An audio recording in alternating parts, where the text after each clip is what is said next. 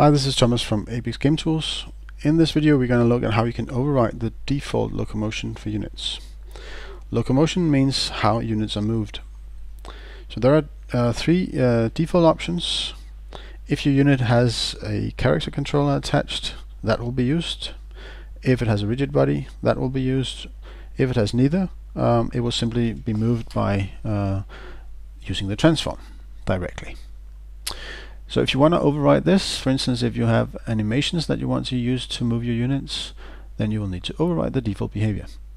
So to see how to do that, I'm going to switch into script here. So as you can see, I've created a default mono behavior, and I will now implement this interface called iMoveUnits, which is what you need to implement uh, in order to override locomotion.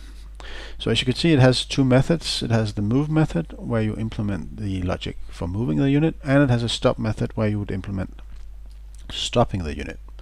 So if you were to do this uh, for um, animations, you would probably enter idle state when stop is called, and obviously for move, you would need to manipulate um, the state machine to respond to the velocity.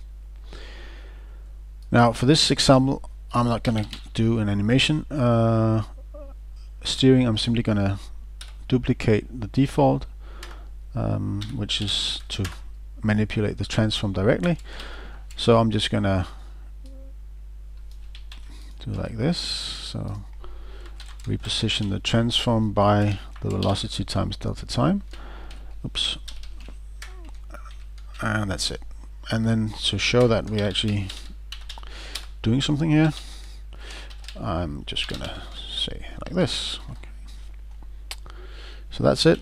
We have a custom locomotion script back in Unity. I'm just gonna attach that. Oh, I actually already did. Attach it there to my unit. Um, so when I start my scene and I start moving my unit around, as you can see, it will write that to the console spam it actually. So there you go. That's how you override locomotion.